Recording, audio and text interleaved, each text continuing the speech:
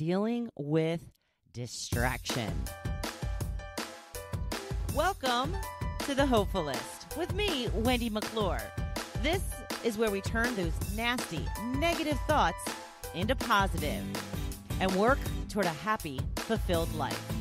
Now, let's get started. Thank you so much for joining me for the Hopefulist this week. I hope you are having a fantastic week so far and you had a fabulous weekend. Starting out with the quote of the day comes from W.H. Murray, who was an explorer, a mountain climber, and self proclaimed committer. Yeah. Until one is committed, there is hesitancy, the chance to draw back, always ineffectiveness. The moment one definitely commits oneself, then providence moves too. So, in essence, what he's saying is just make a decision, you know, blank or get off the pot. Just make a decision and move forward with that. No more second guessing yourself. When you make the decision, don't go back and say, was this the right decision? No, you made a decision. And now, whatever happens, happens. Doesn't mean you can't go back and make adjustments, but you've made a decision. So keep going forward and commit to that decision. The good news for today this is the cutest little story. A mama duck decided to take the children to the library. That's right. Mama and her five ducklings stunned staff and students when they wandered, wandered into an open door at the University of Nottingham George Green Library. A staff member says they walked in, walked around for a bit before heading back out. The mama looked totally at ease and unflustered yeah, that is one badass mama. That is a lot of doing there, uh, bringing the kids into a library where there's a bunch of people. So they checked out the stacks. I guess they didn't find anything interesting. They didn't check anything out. I just love it. I think it's adorable. Uh, there is a little video of it. Um, if you would like to check it out, Google Mama Duck, Mama and Ducklings in the library. I'm sure it will come right up for you. So, what are we talking about today? Today, we're talking about distraction, which is, of course, something that will keep you from the decision that you have just made that we talked about earlier. So, um, I have a picture of my dog on the blog post this morning, and she's in the Outer Banks overlooking from the top of the deck the ocean, the birds, everything. So, I wanted. I was wondering, does she look distracted, or is she the one that is distracting. Yes, she is definitely distracting to me with all of her super cuteness, but that's okay. She's the least of my worries when it comes to getting distracted from my work. There is so much more that needs that needs to be put in check. So, I'm not sure about you, but distraction seems to be the new world I'm living in. Oh, yes. It's constant and unrelenting, and I'm falling for it every time. I can get up in the morning have the absolute best intentions for getting my to do list done. But alas, that ends up falling to the wayside again and again. Then at the end of the day, I feel like I've fallen short of my goals, you know, because I have. And the guilt sets in. If you do it long enough, your brain actually starts to know that you don't mean what you say, and it cannot count on you to get done what you set out to do. That takes a hit on your confidence and intentions. It's like when you say every week, starting my workout on Monday, and then never do it. It becomes a joke with the people that you know. They respond with, oh, yeah, sure. And that's what your brain does too. It eventually realizes it doesn't mean what you say at all. So, how do we get a grip on this? Start back slowly. Don't overwhelm yourself because then you will give up altogether. Just start doing, though. Take one action that leads to another action to another. You get the picture. Just start with cleaning off the kitchen table. Then actually clean up the rest of the kitchen. How about tackling that overflowing closet with clothes? Yes, I know this one is a major pain in the butt, but don't you feel so good when it's done? There's spaces in between your clothes. You can actually find things. Not only that, but then you can donate the cast offs to a charity and that helps others as well. This is an area I need to take my own advice on for sure. Play a lot of pickleball, takes up a lot of time. Each time I play, it typically lasts from one to three hours. Sometimes I play twice a day. Yes, this is distracting me from my work, but I love it and it's really good exercise. So I'm not going to stop, but it doesn't mean I can't get anything else done throughout the day. Yet that's been my life all summer. I've bashed myself constantly this summer for not getting enough work done because I know I'm capable of doing more than I have been. But bashing myself is not going to push me to do more.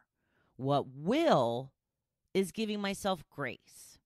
Moving forward from where I am right now. There's no use berating myself for all of the things I didn't do this summer. It's over, it's done, it is what it is.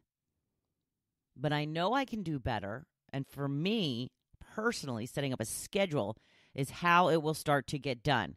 Hopefully, fingers crossed, and get a routine that helps me be more productive. Because right now, I just keep telling myself what I need to do and how much I'm not doing. What typically happens is I just don't feel like doing a certain thing that needs to be done, you know, and that's the top of my list. So I put that off and put that off. And so not only does that not get done, but neither does anything else on my list because I, you know, usually start at the top and work my way down. For example, since uh, going to a weekly podcast versus a daily seems to I have to push myself harder and harder to sit down and record the darn thing. It's not that I don't like doing it. I think it's just that an object already in motion tends to stay in motion theory. You know, that's why it was theoretically easier for me to do it every day. So now instead of pushing off the podcast recording every week, I'm starting to batch them for the month. I will take one day or maybe a week to do them for the entire month, then they'll be done and actually released on time. what do you know? But I've also decided if I feel like I'm going to avoid something, that I will skip over it for the time being. It's better to move on to other things than to get stuck with doing nothing all day long. I've been putting pressure on myself to do things that aren't necessarily fun, but needs to be done. You know, stuff for the business like batching, social media posts, and brainstorming new ideas to offer. Plus, I've been meaning to journal on a couple of issues I've been dealing with, and that is something I always tend to put off. But very aware, uh, very aware it needs to be done at some point. point, and that's an ongoing thing. The journaling, so you know, just do it. We have so many distractions we deal with on a daily basis. First and foremost, I'm sure you can guess is social media. A lot of us pick up our phone the moment we get out of bed. I'm guilty of it too. That sends us down a rabbit hole way too early in the day. And there are times we are on there for so long we don't even realize it. I tend to get lost in TikTok from time to time. I was discussing this with my cousin one day.